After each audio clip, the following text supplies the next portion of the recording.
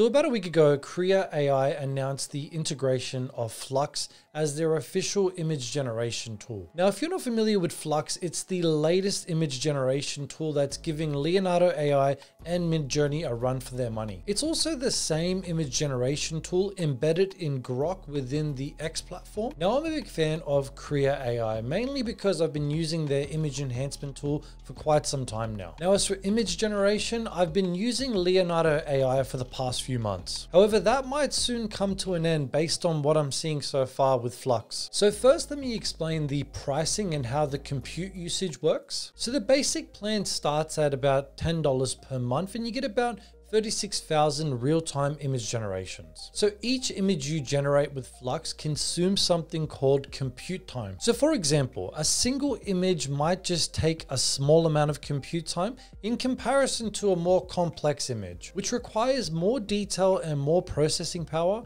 and therefore consumes more compute time. Now, one thing I like about the interface is that the images that get generated are in the middle. And if you want to scroll back to the previous generations, all you have to do is just scroll up. Now, there is a settings button just down here. When you click onto it, it gives you the option to select different aspect ratios for the image generation. There's also this button down here which generates random prompts, and this is great for inspiration. And on the right here, there's a bunch of random preset styles that you can add to the image. Okay, now let me show you guys how quickly I can generate four images in real time. All right, ready, set, go.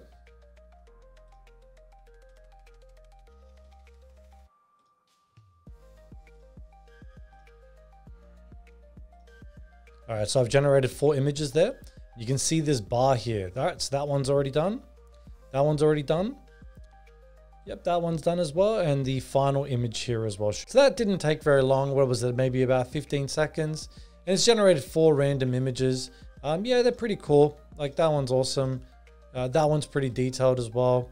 Um, yep, very realistic. And oh, look, it's kind of like an anime style one. Yeah, very, very cool. Now let's save all of these images and upscale them using the enhancement tool. All right, so I'll just click here, save that one, save that one.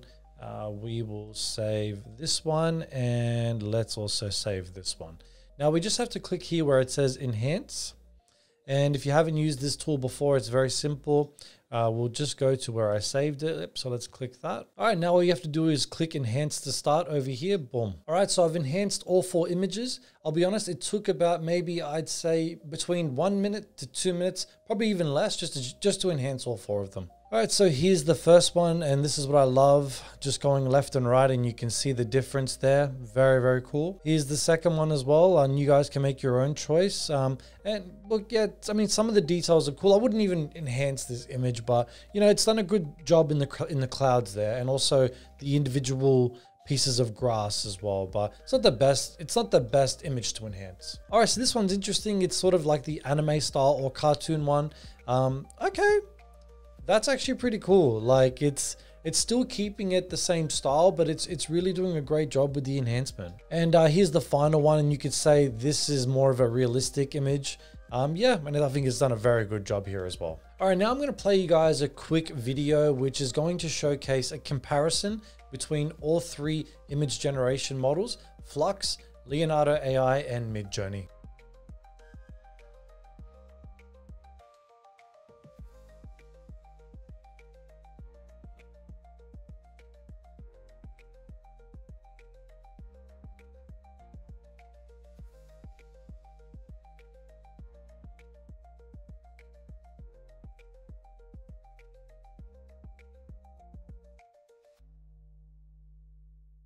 So comment down below guys, let me know which model generated the best images. All right, now let's look at some images that I generated within Flux.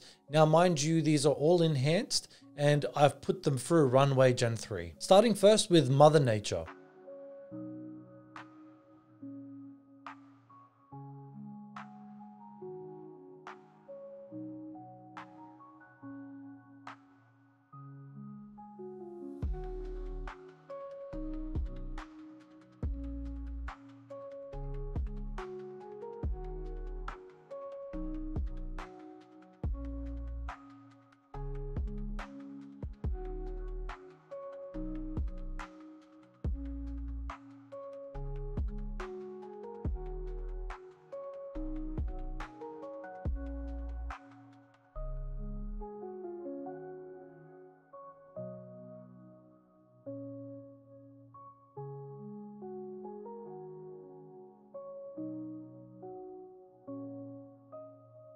Next, when we focus on objects, the detail is so defined.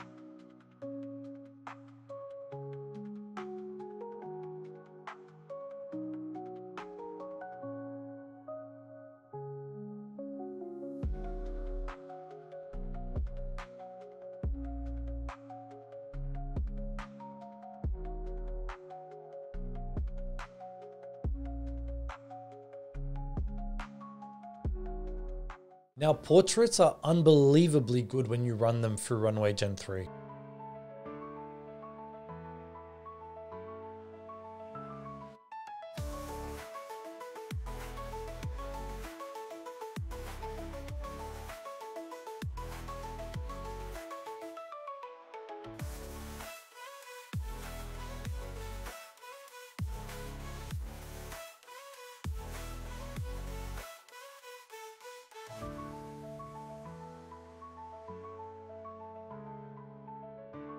Now Flux does really well with text and logo design. I was actually very surprised with this one.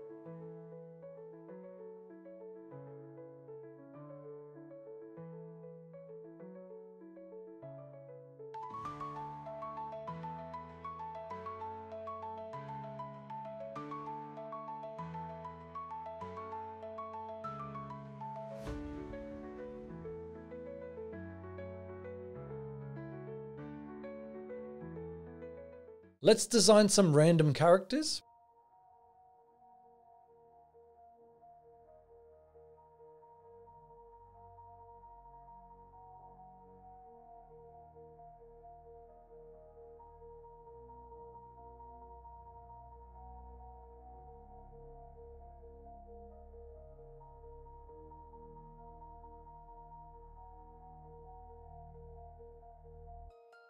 And cinematic shots are also something that I'm going to explore on another video.